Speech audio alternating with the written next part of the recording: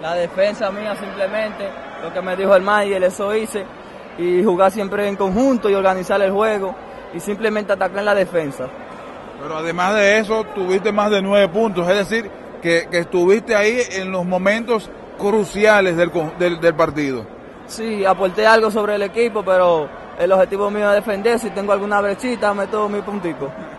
Sin duda que contribuiste con tu defensa y anotando más de nueve puntos. Pero aparte de todo eso, ¿qué otros factores entiendes tú que fueron claves para que ustedes alzaran con la victoria y más aún ante un equipo que tiene un invito como los, los Metros de Santiago?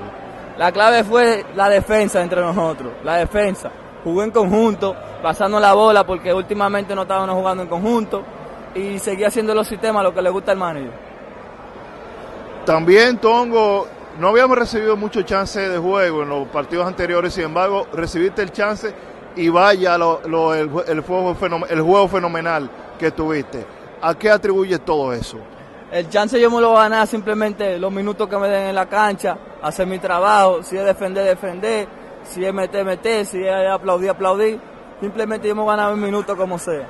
Bien, muchísimas gracias Tongo por estar con nosotros. Muchas felicidades por este gran partido y esta gran victoria para el conjunto de los Leones. Las palabras de José Tongo Corporán de los Leones de Santo Domingo para Pío Deportes.